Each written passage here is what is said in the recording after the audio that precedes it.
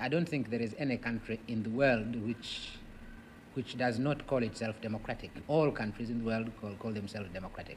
We understand why countries used to the multi-party system uh, don't uh, believe that a one-party system can be democratic or are rather suspicious mm. of the one-party system.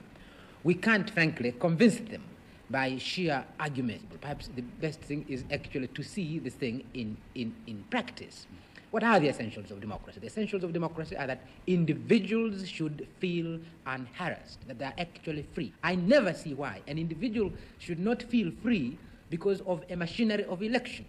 And, and the two party or the one party is really basically a machinery of election. Sometimes you select parties, sometimes you select individuals. Now, frankly, I don't see why the thing cannot be democratic simply because sometimes you select a party, which is what the Western countries usually do.